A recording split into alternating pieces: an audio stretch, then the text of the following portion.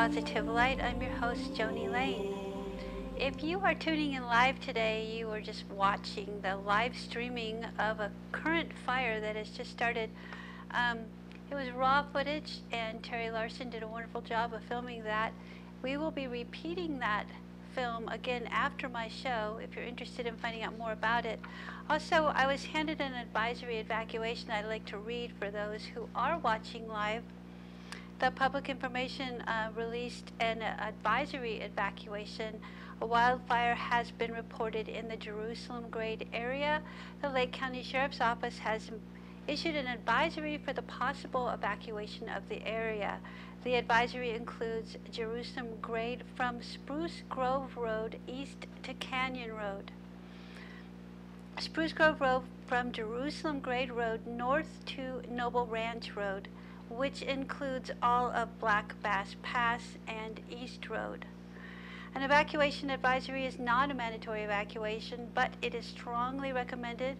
Residents are advised to gather their medications, pets, and important papers residents should be prepared to leave the area with little notice. So again, this is a new fire that had just started not too long ago, within the hour, and it is on Black Bass Pass area. So please stay tuned um, to your local. Um, uh, if you if you need more information on this, contact the um, emergency services in Lower Lake and in Middletown if you do need to evacuate or choose to evacuate, there are evacuation centers available and you can contact the emergency services in your area, whether in, you're in Lower Lake or Middletown or in the Hidden Valley area. So again, there is an advisory evacuation for Black Bass Pass. Um, and as I said before, we will be rep repeating that footage of the fire directly after my show. So if you're interested, please stay tuned for that. And there will be updates on that fire as well.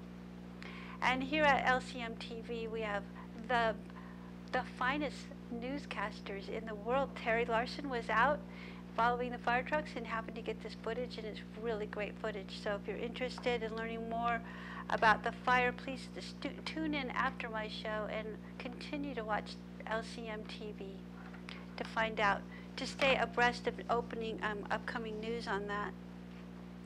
So to continue with my show, and um, if there is an emergency, I may be interrupted to let you know that. But um, to continue with our show today, we are a positive light, and we are on every Monday at 3 p.m. I am your host, Joni Lane. I am the owner operator of a Positive Light Meditation Center in Kelseyville, California, which is in Lake County, California. We've had a lot of fires here in Lake County, and we also have seen some of the most fantastic fire fighters I've ever seen.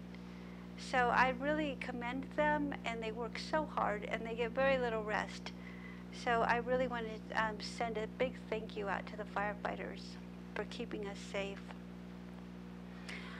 Um, Monday nights at my meditation center, we do hold meditation classes at 7 o'clock every Monday.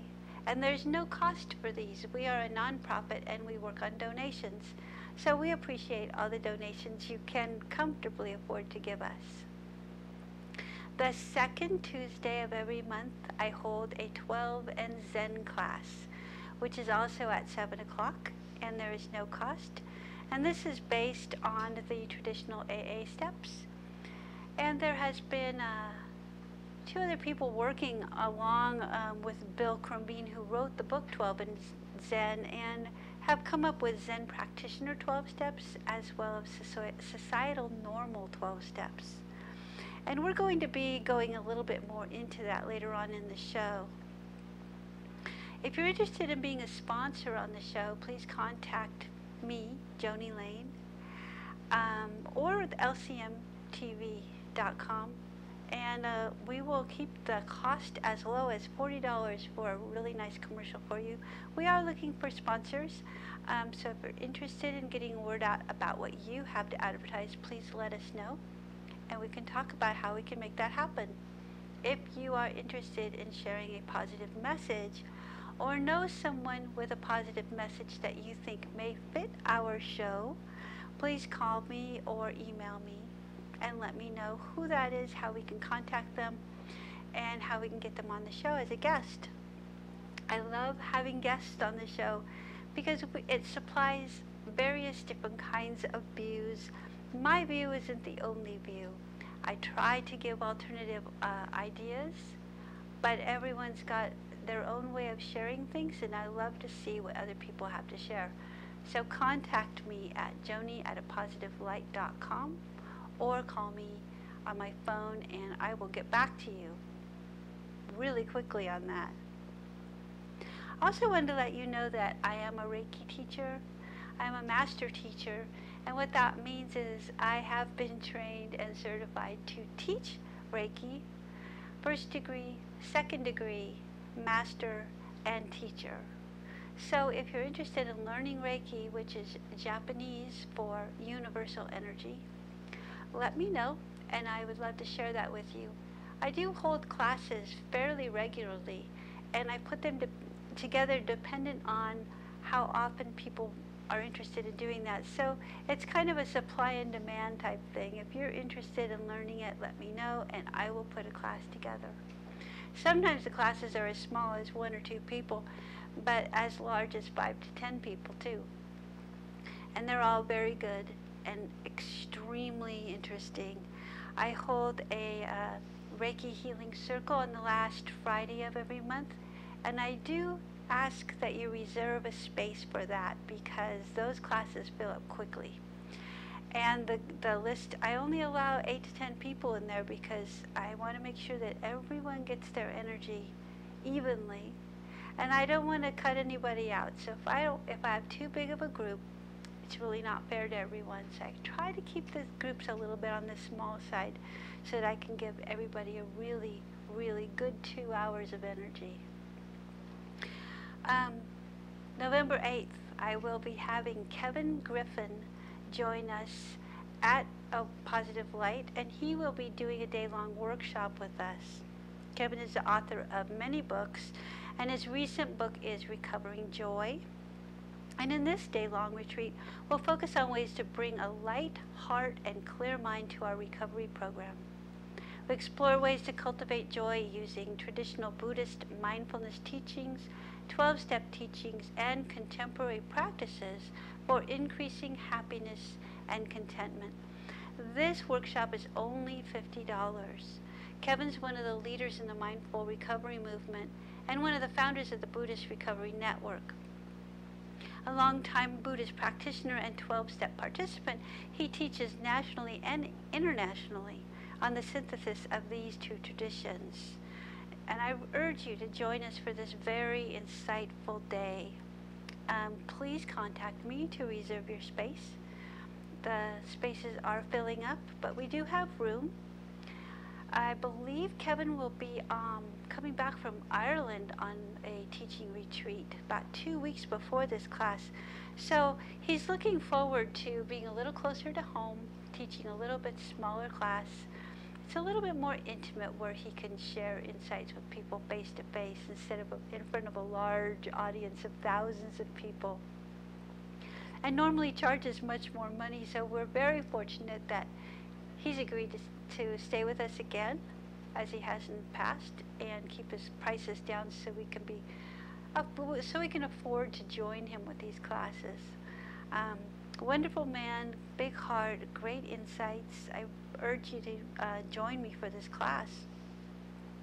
There really is nothing like taking an actual day-long workshop and showing up and actually talking to the people that are teaching, experiencing what they're trying to show you, practicing the meditations they suggest. And Kevin really is very good at um, teaching unique ways of having a relationship with not only your steps if you're in a recovery program, but just meditation practice in general. So please know that you do not need to be in a recovery program to benefit from this workshop. He is a teacher at uh, Spirit Rock in Marin County, which was founded by Jack Kornfield, and he's got years and years of experience in meditation practice. So everyone gains from his classes. So, some of the reasons for meditation, I teach meditation and I teach various types of meditation. I try to uh, provide people with a variety so that maybe one of them can strike a note and make a difference with them. Um, some of the reasons for taking the meditation classes is a teacher can help you understand what's going on with your thoughts, with the energy in your body, how you can let go of thoughts. Teachers can help make suggestions on what to do um, with your thoughts when they come into your mind.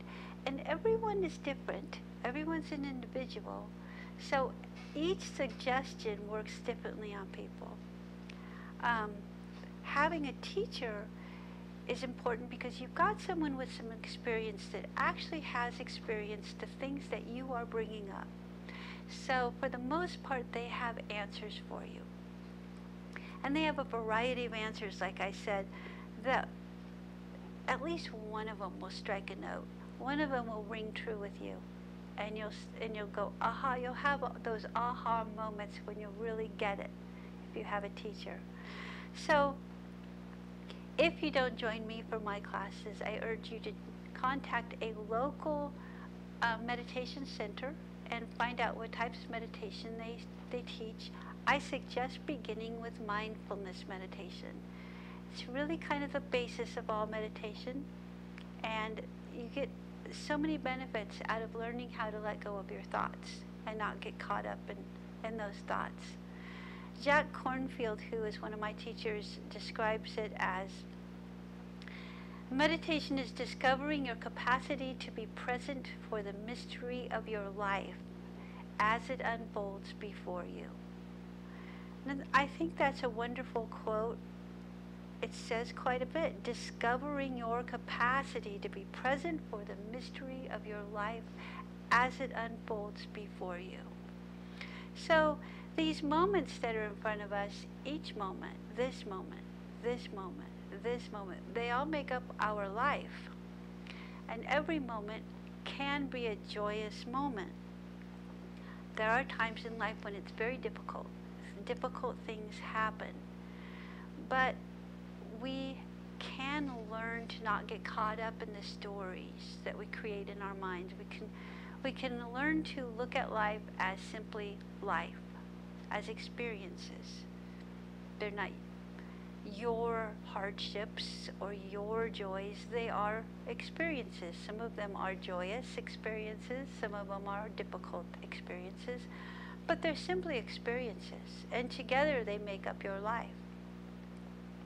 When we get involved in an experience where we start taking ownership and creating something more out of it than it actually is, start dramatizing things, start getting caught up in those thoughts, we're actually not experiencing the moments that come to us, we're experiencing the moments that we're creating in our mind.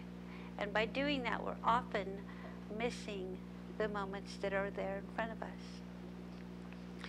So when we talk about our issues as, as people um, or things we need to work on, the first thing we need to become aware of is awareness itself. Um, aware of your unconscious reactions when you're when you act without thinking, when you just react out of habit. If you begin to understand yourself well enough to see that you're caught up in an emotion and you're making something more out of it than you need to, oftentimes you're not being aware of the actual situation. You're more aware of the situation you've created in your mind and you're missing the point.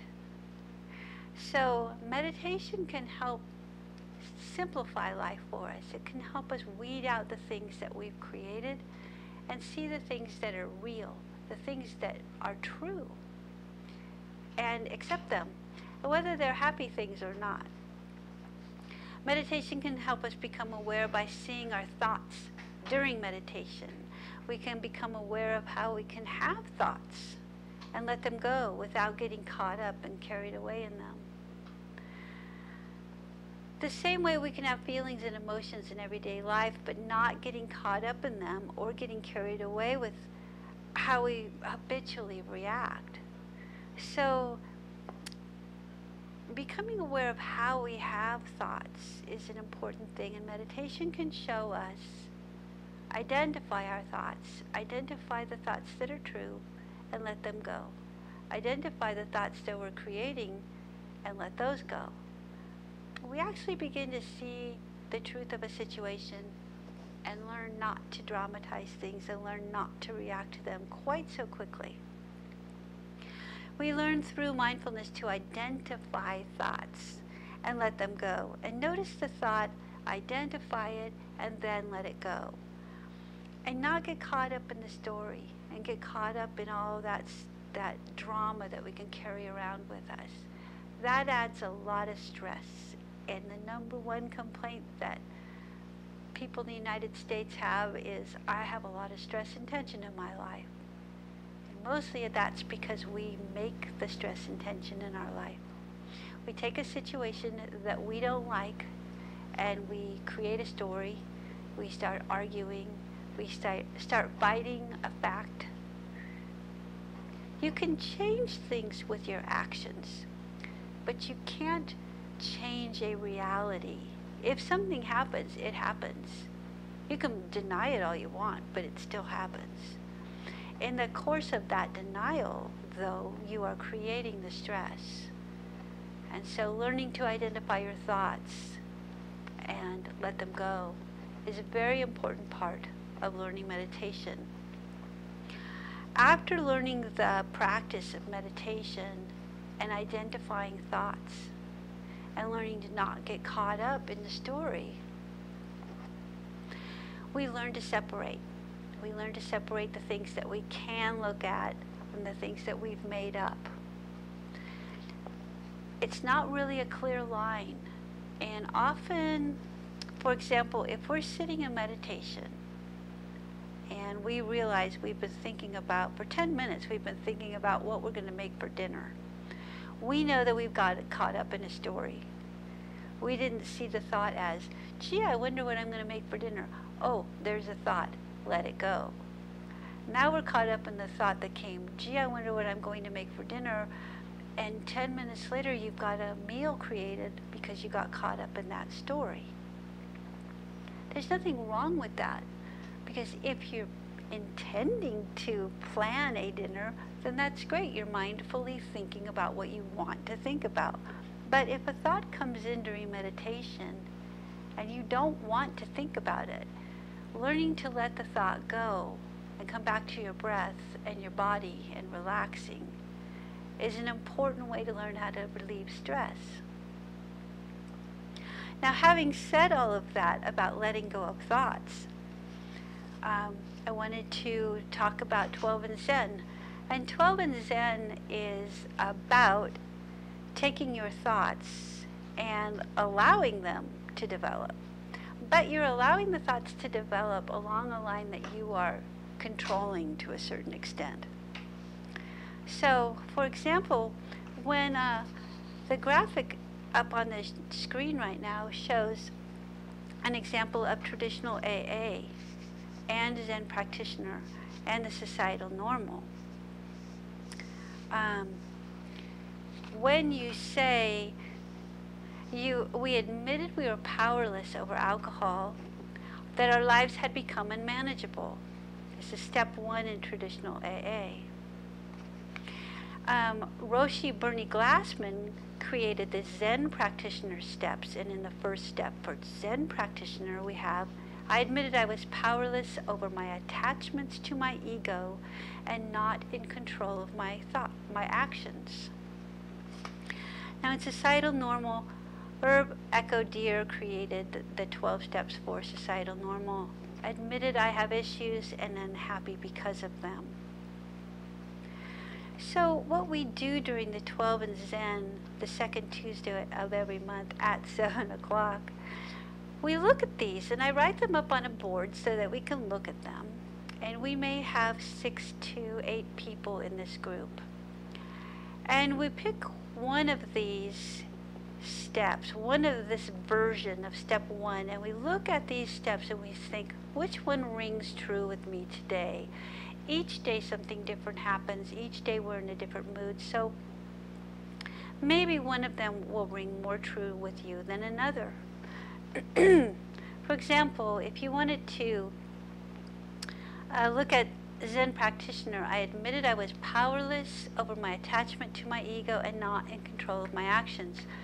And you began a meditation and you repeated that over and over and over, and that's what you meditate on. You can look at a lot of things in this one sentence. Perhaps one of the words will jump out at you. I admit I was powerless. Admitted the word admitted. Maybe if you meditate and that word jumps out, wow, what does that mean to me? Admitted. It means a vulnerability. It means a, a sense of not having control. I admitted something. It means to accept the truth, to look at yourself honestly. During the meditation on this one particular step, that word can become a lot of things. the word admitted can become a place of vulnerability, a, a place of truth, a place of honesty with yourself. I admitted I was powerless. Okay, there's a deep meaning to that, and when you meditate on something, there the meanings open up. The depth becomes a little more clear to you admitted I was powerless.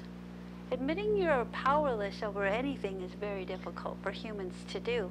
But during meditation, I admitted I was powerless is a very big statement. And when you actually admit it and accept it and own that, it becomes something really large. It, it opens up into knowledge of yourself a little deeper knowledge of yourself. I admitted I was powerless over my attachment to my ego. Why do I need to be attached to my ego? During the meditation, you may ask yourself, why did I need to be attached to my ego? What does that mean? What does attachment mean? What does attachment to ego mean? When you admit you're powerless over your attachment to your ego, you're surrendering quite a bit because our ego is what feeds us. Our ego is what keeps us going in some directions. But when you admit you're, you're powerless over your attachment to your ego and not in control of your actions, it could mean you realize that your ego was controlling your actions. Perhaps you're um, a control freak. Maybe you need to have everybody do everything your way you can't understand why people don't get that. You're trying to help them out. But when you're attached to your ego, when, you when your ego is telling you how to act and how other people should act, it's closing a lot of things out. Excuse me. You're closing a door on things when you allow your ego to control you, your thoughts, and your actions. There's nothing wrong with having ego. We all have ego. Having a healthy ego is being balanced. But when you're insecure, your ego tends to want to control things. So during a 10 minute meditation on this one step, I admitted I was powerless over my attachments to my ego and not in control of my actions. Many levels can open up this can become very deep. You can start seeing things in yourself that maybe you weren't aware of. Maybe this one sentence can be an answer to things that you've been looking for. Wow, I didn't realize I was allowing that to happen. But I was. And now that I'm aware of it, I can at least be aware of it. If I can't make a change in it right now, at least I can be aware of it. And that's a big step.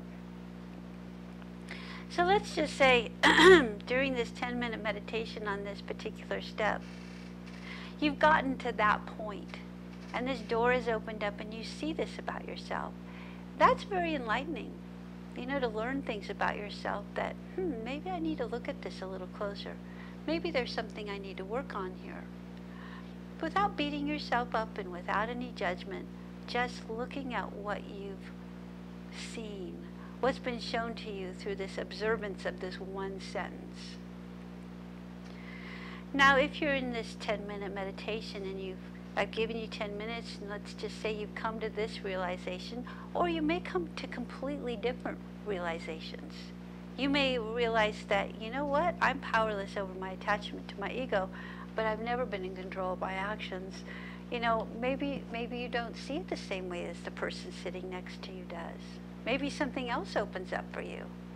And that's a wonderful thing. It probably will be different than anyone else's observation of this sentence.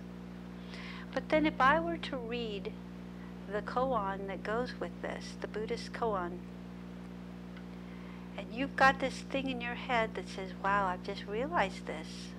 Through this meditation and being aware of my thoughts, I have just come to realize something about myself. And now she's reading this koan. It is as though you were up a tree, hanging from a branch with your teeth. Your hands and feet can't touch a branch. Someone appears beneath the tree and asks, What is the meaning of Zen? If you do not answer, you evade your responsibility or are discourteous. If you do answer, you lose your life. What do you do? So now you're meditating on this koan in relation to your step. You've admitted you were powerless over your attachment to your ego and not in control of your actions. How does that relate to hanging by a branch by your teeth? It's as though you were up a tree hanging from a branch with your teeth. Your hands and feet can't touch any branch, so you're suspended by your teeth on this branch. And someone is asking you a question, and you feel you must answer them but if you do, you'll lose your life. So how is this any way connected to this sentence, I admitted I was powerless over my attachment to my ego and not in control of my actions? Well, you're not in control of your actions if you're hanging by a branch with your teeth and you can't touch a branch. You're not in control of your actions if someone is asking you a question. You're also powerless you're hanging by your teeth. You're powerless. So this is how the, the 12 and Zen works. And as you take another 10 minutes and you start really meditating on this, hanging by your teeth, unable to touch any other branch for support, knowing that if you speak, you will lose your grip and fall to your death. But you must answer it's a very, it's one of those things that makes you really think how, how we are always out of control of other people, places, and things. We can't control other people, places, or things. We can't control the person asking the question. We can't control the branch. We can't control the situation. You're powerless. And your ego really wants to take control by hanging by your teeth. That could mean a lot of things. I know some people have said, you know, when I was hanging by my teeth, I felt like this branch was solid. It was the only solid thing in my life. And I really dug my teeth into it. So what they saw was that branch as a lifeline, as a strength, and they had their teeth deep in that lifeline and they were not going to let go. And what other people in the class may have come up with is the branch was my addiction or my issues that I need to deal with. And I really had my teeth in that. I was really attached to that. So the people might identify the branch as their ego. They were very attached to their ego, that branch, and they weren't willing to let go to see what would happen.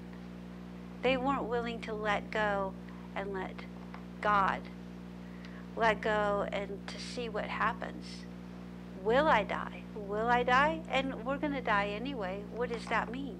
We're all going to die. What kind of death? Does it mean an actual physical death? Does it mean a, a death of an ego? You know, it may not be a literal physical death. Perhaps it represents the death of your ego and your struggle with it. So you can see what I'm saying is that after 20 minutes of meditating on a step, whichever one you choose, and allowing that to develop and open up into something for you, and then meditating on the Buddhist koan that, go, that is paired with it, and seeing how that opens up, you can identify new things about yourself that you may not even be aware of. Wow, I didn't realize I was hanging onto my ego that hard. I didn't realize that it was okay to allow my ego to die if I let go. If that's what it meant to you. But the realizations that you can gain from this are amazing. And when the six or eight other people in the class share what they came up with, you see things in a whole new light because everyone is different. Everyone experiences things different, differently, and everyone sees things differently. So when you hear someone else's view of it, you're thinking, "Oh wow, I never, I never thought that." But that's really interesting. That's a great way of looking at it. And the things you learn about yourself during this one hour are amazing. Some of them are really funny. Some of them are, are kind of tragic. But and you're not you're not forced to share anything if you don't want to. It's fine. But if you do want to, sometimes it helps you develop more deep relationship with your step. And it helps you understand yourself a little bit deeper too. So you can take this vision of understanding and allow it to develop and create something better, create a better you. So I hope that wasn't too confusing for you. I think it's pretty simple and I'm sure that you got it. I think we're going to take a break right now and have a commercial and then I'll come back with a different view on this. Thanks a lot.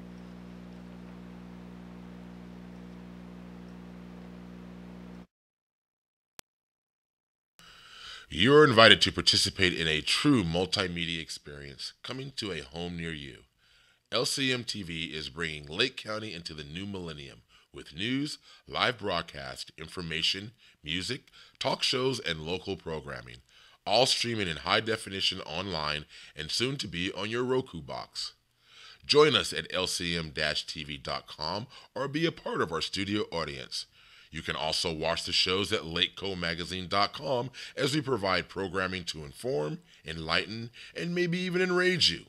On Lake County Magazine Talk Show with Terry and Pete the Tax Guy, Wednesday mornings at 9 a.m.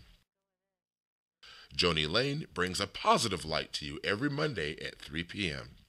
Pasha Space brings an international flair as they discuss ecological, health, and social issues in Haiti with people around the world. End up your week with positive, conscious sounds on Saturday at 9 a.m. with Sister T on the bridge. This show is also simulcast on KMEC 105.1 FM in Ukiah.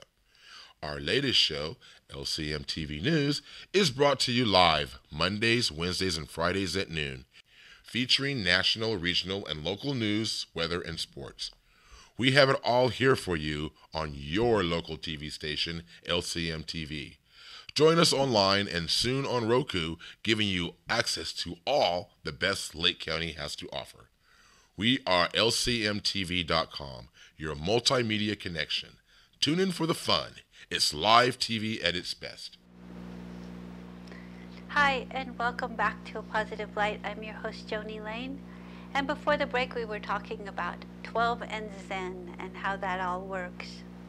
Before I get um, any further with this, I want to also remind you that this was developed by Bill Crumbine, who was with the uh, Pacific Zen Institute in Santa Rosa. He has since moved on to bigger and better things, but he is still holding his 12 and Zen classes. And he has written a book called 12 and Zen. If you're interested in reading the book, please do. It's an amazing book and it gives you great insights. Um, you can find it on Amazon.com. It's an ebook form and it's also in a paperback form. I understand that he's working on another book as well. And I do keep in contact with Bill. And I give him some feedback about some of the things people brought up in the class that we hold. Um, some of the feedback that they've come up with that wasn't in his book, but a different viewpoint. So he's interested in collecting those those um, ideas and putting them into his new book. So we'll see how far that goes. Um, he has reasons for pairing up the koans with the steps, and a lot of it was experimental. Um, some of the time, he read the koan to a group who knew the 12 steps and allowed them to kind of meditate on the koan and see which step it reminded them of and how in relationship to that step it developed. So after months of doing that, he's taken notes and decided this koan seems to go with this step and this koan seems to go with this step. But he has two or three or sometimes more koans for each step. And he's, he's developing more and more. Like I said earlier, um, Herb Echo Deer, who is one of his uh, colleagues, has developed the societal normal 12 steps. And who knows what normal means? But a lot of times, people who are not in a recovery program hear so much about it and they think, wow, you know, 12 steps sounds pretty powerful, but I don't have addiction, so I don't need it. But then, if you talk to anyone in a 12 step program, they'll tell you if the whole world used 12 steps, we'd have a great place. Because we take accountability for our actions in 12 steps, we are taught that our life is the way it is because we made it that way and we can make it any way we want. Using the steps to understand ourselves better, understand other people better, and um, they're very powerful. So, Herb Echo Deer wrote the Societal Normal 12 Steps thinking, you know, this might help the quote normal people. And then Roshi Bernie Glassman wrote the Zen Practitioner 12 Steps. And he is also um, part of the Pacific uh, Zen Center and thought, you know, 12 steps in any form can really help someone. Maybe the Zen Practitioner 12 Steps can help some of the people practicing Zen. So it gives you a variety to choose from. And I've found that some of the people that come to our group are not in a recovery program, but they do use the traditional AA steps sometimes. Uh, for instance, in the first one, we admitted we were powerless over alcohol, that our lives had become unmanageable. Um, they may say, um, I've admitted I'm powerless over other people, or powerless over my anger, or powerless over my addiction with food, or whatever it is, and that your life had become unmanageable because of it. So really, these steps can be applied to any anyone who relates to any of them. A lot of the people who are in the 12 and 12 step program do like the Zen practitioner steps. Or perhaps that day they really like that societal normal one. It's really speaking to them that day because they've had something happen that day that just rings with that step. So being open-minded is a really big part of working the 12 in Zen and it's very exciting. Um, just learning what other people have to say about it and the way they view things gives us insight into other people. Understanding yourself is very important. It's the first step in becoming uh, more in touch with other people. Understanding yourself first. But hearing other people's views, is, it really helps open the door to understanding other people and think, wow, I see how other people think. There's other ways of viewing this. And you can allow them to see it their way and you can learn from it so, and sometimes it really is funny that the things that we think of, the things that pop into our mind. Um, so I urge you to come to the 12 and Zen. It's the second Tuesday of every month and at 7 o'clock. Um, we work every month. We add the next step. So the first is usually in January, but this time we've started a little bit later this year. And then the next month we go on to step two. So let's go ahead and go on to step two. Uh, traditional AA, which is from the big book. And Mark, would you put the graphic up there for the the sec- step two of 12 in Zen by Bill Crumbine? Oh, shoot, hold on. I think it was up there just a second ago. Was it? Yeah, the 12 in Zen every second Tuesday of the month at 7. Yeah, step Okay. two. There it is. Great, thanks. So, the traditional AA from the big book, step two, is came to believe that a power greater than ourselves could restore us to sanity. The Zen practitioner by Roshi Bernie Glassman says, I came to have faith in an enlightened way. The societal normal second step by Echo Deer is became willing to do these steps believing we could heal if we do. So just because we stuck with the um, Zen practitioner on step one, let's go ahead and use Zen practitioner on step two. I came to have faith in an enlightened way.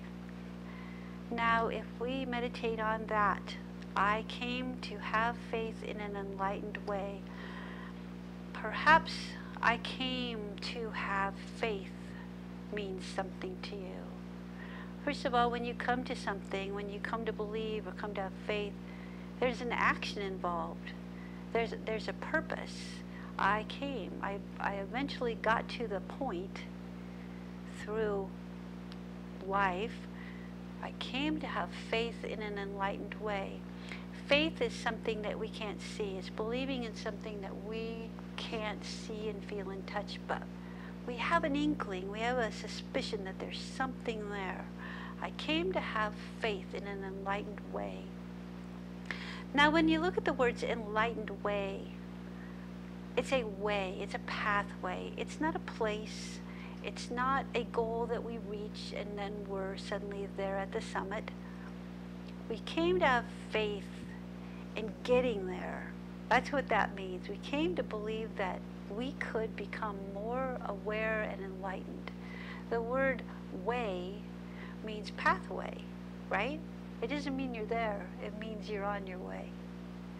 So if you come to have faith in an enlightened way, you realize through this meditation maybe that I could get somewhere with this. I could, I, I think this Zen steps might help me become more aware of myself, more enlightened about life in general, more aware of how other people see and feel and hear. It also might help you understand that you don't have control over, over other people, places, or things, that life is just life. Every day it happens, every day we experience it. And we have no control, which is a form of faith. So during this meditation, came to have faith in an enlightened way is an action, it's a place, it's a, it's a pathway, it's a travel, it's a journey. And that can unfold a lot of things in the meditation for you. 10 minutes of that kind of thinking can really open up a lot of pathways and a lot of thoughts, a lot of possibilities that could be without really grasping and becoming attached to any one outcome. We can have faith that maybe this pathway can lead me to more enlightenment, more understanding. Now, the Buddhist koan that uh, Bill Crumbine has paired with this is called Little Jade. So there you are sitting in your meditation with your Zen practitioner thoughts. I came to have faith in an enlightened way. And then suddenly she reads, A woman calls out to her maidservant, Little Jade, little Jade, not because she wants something, but just so her lover can hear her voice. How in the world can this have anything to do with the step that we were just meditating on? I came to have faith in an enlightened way. Came to have faith is something that you, you, you don't see. You know it's possible. You know there's something there, but it's elusive. It's, it's not tangible.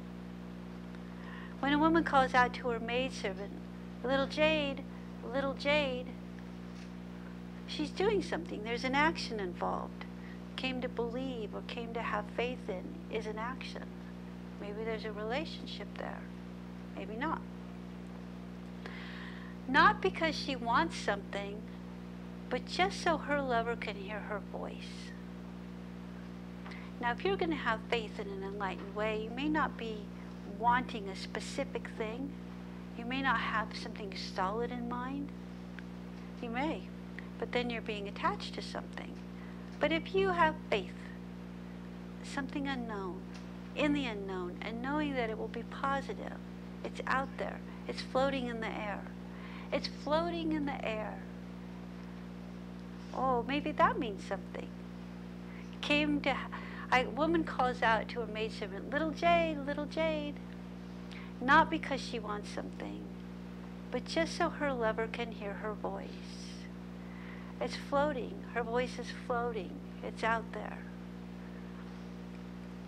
Some of the things that Bill has written in his book regarding this particular step is he's, he's written these questions for you to ponder if you get stuck on this and you wonder, hmm, how do I progress with this? How do I move forward with it? Who delights in calling out little Jade? Who is that? A woman. A woman. A woman with a, uh, with a maidservant, but we don't know who that is. Who's calling? Who delights in calling out your name? What is it what is it like for you to hear your voice being called? Do you like hearing the sound of your own voice? Who is her lover? Is that her ego? Is that another person? Is that little Jade? Who is little Jade? In relation to this step, little Jade could be the enlightened way. Maybe this woman is calling out saying, I, I want to hear my voice ring with this pathway toward the enlightened way. Little Jade is a gem. It's, it's something special. So maybe this enlightened way is something special and gem-like. So these are things that that Bill has written down and things that I've suggested, but maybe you're coming up with something completely different. Maybe you're relating to a woman calling out to her maidservant. What's a maidservant? Maybe you're coming out with, um, this is the way. My maidservant is the one that gives it to me, so she is the way. The way to enlightenment, the way to little Jade. Or maybe it's her voice. Maybe her voice is the way to enlightenment. So you see what I'm getting at when I when I start making these different suggestions in your mind, in your heart, in your soul, what do these words mean to you? How do they open up? What develops when you meditate on them? What stories begin to create in your mind regarding this specifically? How does this relate to you personally? Can you become aware of something new through this? Maybe not. Maybe nothing comes to you, and that's okay. That's okay today. Maybe next time it will. What I also do at the end of these 12 and Zen meetings is I give you a copy of the steps and the koan. And I let you take it home. And I'm hoping by doing that, that sometime during that month, you'll pull it out and realize, wow, this really, something happened today where this came up. This reminded me of this situation, this step, this koan. And then you can take a meditation, a few minutes of meditation, even 10 minutes, and just see how that develops. Why did it remind you of that? What came up that was so much like that? Was it the words? Was it the situation? So this is how you can use these koans to help you understand yourself better, help you understand other people better. Now, Bill also suggests in this one particular part of the book here A woman calls out to her maidservant, Little Jade, Little Jade, not because she wants something, but just so her lover can hear her voice. What about the times you've called out in need of help? And you knew you had been heard because someone came to your aid. Believing that a higher power is hearing your words is very comforting. Whatever that higher power is. Maybe your higher power is knowing your, maybe it's just you and your integrity. Maybe it's your friends. Maybe it's God. Maybe it's knowing that there's something better always on the horizon and that you're open to it. Maybe that's a higher power. So it doesn't have to be a religious concept. It can be something that is within you, in your heart, something you can relate to. But I do recommend going to Amazon and reading this book online or buying it paperback, but I urge people to use email. I mean e-books as much as possible. I use enough paper here. Um, and then come to the classes every second Tuesday at the Meditation Center and experience the group. Because when you experience the group, you hear five or six different people tell you five or six different stories, five or six different ways of looking at these things. And some of them are really insightful, things I would never come up with, but when they mention it, I think, wow, that's really cool. I'm going to have to think about that. That opened up a door for me that I really want to look at. So it's very educational. It's very fun. And uh, the last time we had apple pie. So there's another incentive right there. Who wants to give up apple pie? especially a Gravenstein apple pie. Yeah, and I made it myself. It was good. See, now I'm bribing you to come. So I'll give you one more example, and this one is is a is a pretty pretty involved one. So what I suggest you do is, I'm going to read the three versions of step three, and then I'm going to read the koan. And I'm going to invite you to uh, come back to my website, positivelight.com, watch the show again, listen to my suggestion, listen to my reading on these steps and the koan, and see if you can meditate on this and see what comes up for you. Because this is a really good one. I like this one a lot. And I like them all, but this one for some reason is really special for me. So in the traditional AA steps on step three, made a decision to turn our will and our lives over to the care of God as we understood Him. Very important that you hear that as we understood Him. It could be whatever higher power means to you. Made a decision to turn our will and our lives over to the care of God as we understood Him. The Zen practitioner, step three. Without understanding it, I made a decision to practice an enlightened way. Without understanding it, I made a decision to practice an enlightened way. Societal normal. Let go of controlling our issues. Ask for help with them. Let go of controlling our issues and ask for help with them. Now, if you're listening to this, if you've gone to the website and you're watching this, you're listening to it, you can pause and uh, meditate on one of those steps for about 10 minutes see what comes up. See what opens up for you. The koan that is paired with this, you are being chased by a tiger. Coming to a cliff you grab the root of a wild vine and swing yourself over the edge. The tiger you were fleeing from is sniffing at you from above. At the bottom of the cliff is another tiger waiting to eat you. Only the vine sustains you. Two mice, one white and one black, little by little start gnawing away the vine. Nearby you see a luscious looking strawberry. Holding tightly to the vine with one hand, you pluck the strawberry with your other hand and pop it in your mouth. How sweet it tastes. So I'm going to leave you with that. I hope you do practice this meditation, see what comes up for you. What does it mean? Feel free to repeat it a few times so you really get it and see what opens up for you. In the meantime, take care of yourself. Have a good week. I will see you next Monday at 3 o'clock. And if you'd like to stay tuned, if you're watching live streaming, stay tuned and watch um, the footage on the current fire that we unfortunately have in Jerusalem Valley. Um, hopefully it will be the last one. But we have some great footage on that from LCM TV, Terry Larson here at our show.